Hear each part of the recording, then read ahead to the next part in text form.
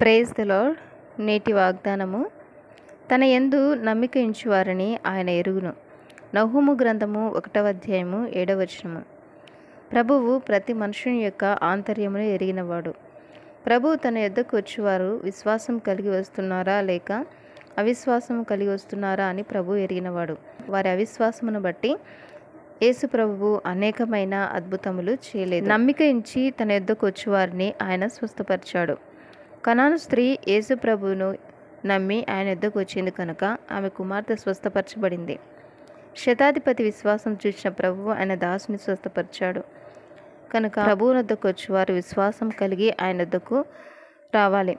దేవుని వద్దకు వచ్చేవాడు ఆయన ఉన్నాడనియో తన వెతుకువారికి ఆయన ఫలం తెచ్చేవాడని నమ్మవలను కదా ఆమెన్.